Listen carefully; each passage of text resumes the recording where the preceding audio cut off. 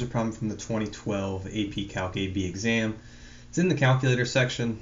No real need to go to the calculator. Can't really help at all here. What they present us with is they present us with a graph of f prime. So the graph of f prime, the derivative of f is shown in the figure above.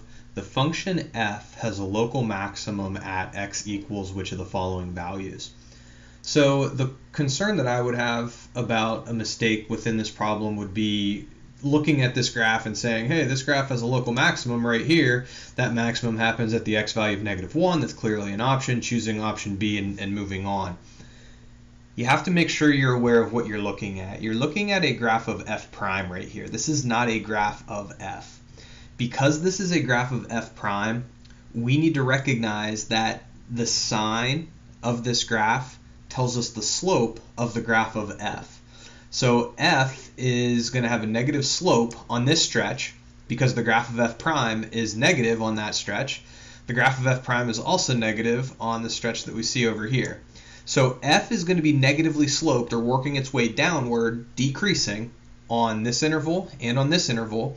And then on the interval in between, where we see the positive values for the graph of f prime, we're going to have a positive slope on f.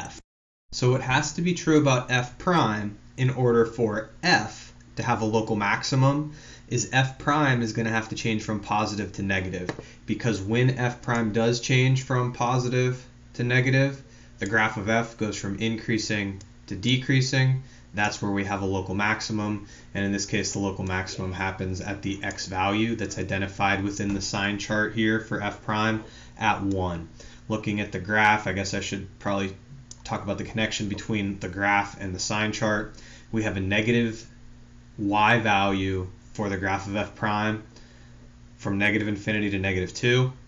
We have a negative y value or a negative sign for f prime from 1 onward to infinity.